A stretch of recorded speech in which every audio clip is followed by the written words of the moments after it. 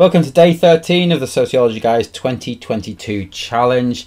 In this challenge, what I do is I set 20 marks of questions on a topic area each day, and then I attempt to answer those questions um, and post the answers to my website, thesociologyguy.com, or I put them in a video just like this one.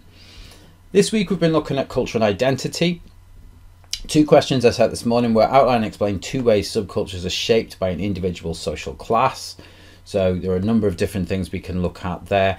How um, individuals come to form different subcultures. So, for example, working class subcultures, middle class subcultures, professional subcultures, upper class subcultures.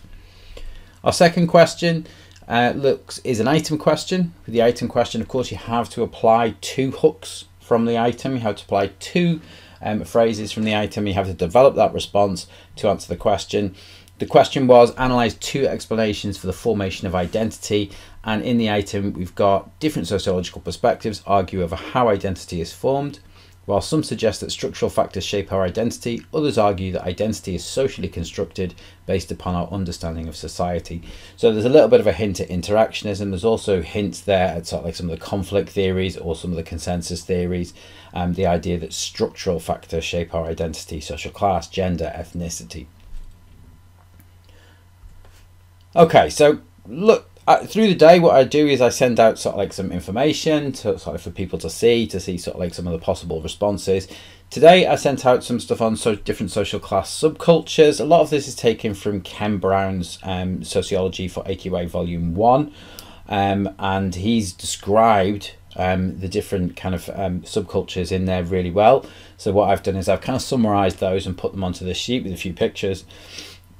So, number of different subcultures that you could have looked at for this question: traditional upper class, um, subcultures of new money, people who are self-made, business, um, businessmen, sports, people who are in entertainment. Uh, the professional classes, so people who are highly educated, more individualistic, um, they are very much focused on their career minded and they're very ambitious. And then the lower middle classes you could have looked at as well. Of course, you can also look at um, working class subcultures, underclass, different types of subcultures as those. I put this out there because I think a lot of people will go straight with working class subcultures um, or subcultures that are reacting to mainstream society. But let's see sort of like how social class um, right throughout um, the social class hierarchy um, form subcultures. So my answer to the question was, one way in which an individual social class may shape subcultural formations is through socialization. The process of primary socialization shapes individuals through the family, and this leads to children adopting the norms and values of their family social class. So this is an idea that sort of like you are socialized into a social class, whether it's working class, middle class, upper class. You are socialized based on your your family social class. This is often reinforced through secondary socialization, such as education, where an individual's tastes and attitudes are either approved of by the education system or rejected.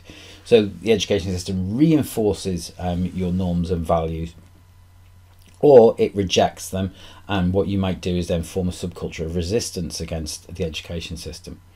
Archer argued that the rejection of working class habitus, particularly with respect to the way um, they were dressed in schools, leads to a form of symbolic violence against young working class pupils. This reinforces ideas that education does not accept them, and this leads to the formation of working class subcultures where status is awarded to individuals on the basis of conforming to the cultural tastes of the group. For example, wearing branded sportswear or developing a hyper heterosexual identity. This leads to the reproduction of working class subcultures from one generation to the next. What I've done here is I've taken an example that you may have come across in education. So it shows that lots of the learning that takes place in A level sociology is synoptic. You can use this idea of identity formation and subcultures that is taken from education and apply it to a culture and identity question. A second way the subcultures are shaped by an individual social class is through resocialization. Now, this is a new kind of concept that if you haven't done culture and identity, you may not be familiar with, but it's the idea of relearning the norms and values of society closely linked with things like social mobility or um, integrating into a new society. This is the process of learning alternative norms and values to those that have been already learned.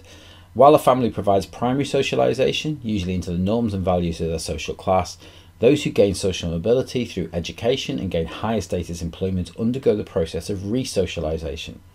For example, working class students who have achieved in education may go on to study at university and qualify in one of the established professions such as law or medicine. As the norms and values of these professions are different to those of the working class and mainstream society, they will adopt new norms and values to fit in with their new role in society. For the professional classes, this may be through the language they use in the workplace, the events they attend, or the cultural knowledge they acquire through association with others within the professional subculture. The process of social mobility is reliant upon resocialization from one social class habitus to another in order for the individual to succeed. Now, of course, I here have talked about professional subcultures. Professional subcultures, they do exist. They have different norms and values to mainstream society. They will be centered around the, uh, the, the person's employment rather than their status in society. So I've used that as an example there, um, rather than just go straight with working class. That covers that question. Let's look at our second question. Well, our second question focuses on what's called identity formation. I've put a few theories of identity formation up here. Um, there's functionalist views of identity formation, the idea that we form our identity through the um, through conforming to the norms and values of the value consensus. And our Marxist views of identity formation are focused on social class.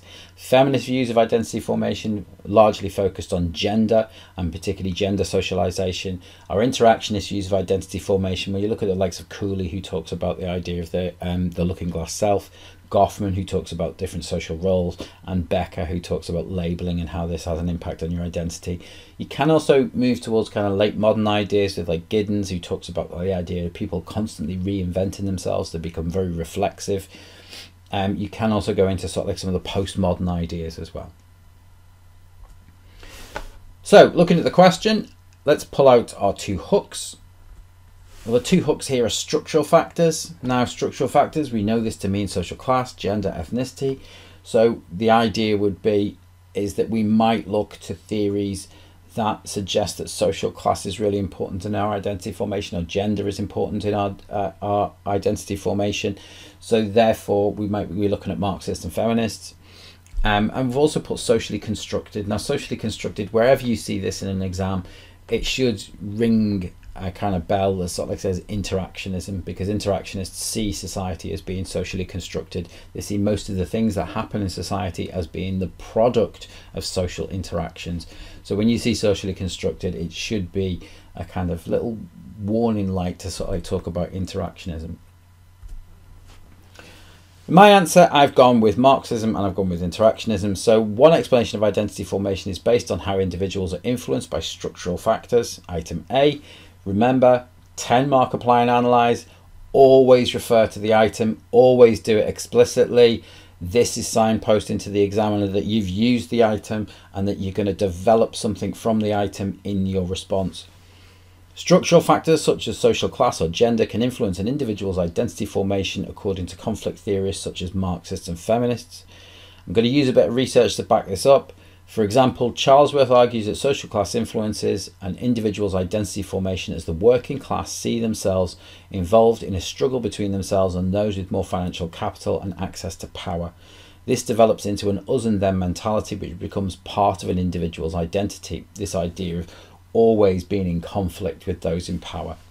Furthermore, Another little bit of uh, research here. Lawler argues the middle class identity is formed through claiming a sense of superiority over the working class cultures, seeing it as derivative and distancing themselves from the activities of the working class. As a result, they develop an identity that is more in line with the upper classes to ensure that they do not find themselves labelled as lower class by others in the middle classes a little bit of interactionism at the, at, at the bottom, so like talking about how um, negative labeling. But what I've done is I've taken this idea of structural factors. I've seen how social class influences um, identity. I've looked at two groups. I've done the compare and contrast route for analysis, and I've got two bits of research in there. So that's a good response. My second response, a second explanation for the formation of identity is that identity is socially constructed. Interactionists argue that people make sense of their own self and define their own identity through social actions that they have with others. One of the earliest sociologists to suggest this was Cooley, who argued that individuals gain a sense of their identity through their perceptions of how others see them. As a result, their identity is formed through the actions and reactions of people around them, display when the person behaves in a particular manner.